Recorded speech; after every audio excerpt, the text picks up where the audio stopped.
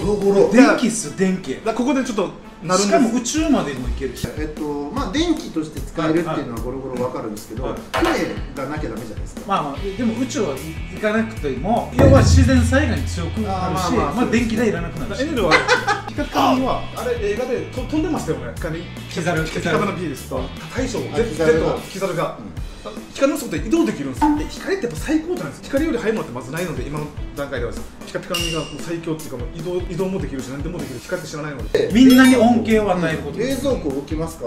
エアコン動きますか？そこはあの光発電考えます光発電太陽光ああ発電 そうですね。太陽光発電できます。ゴロゴロは確かに商売にできるですよね。自分があのビューンって1日に何何時間か分かんないですけど電気流してそれ売って生活できるじゃないですか。ピカピカは何売って生活する？電気太太陽光です。太陽光線。もうキャッチコピーはあなたの心に光をっていう。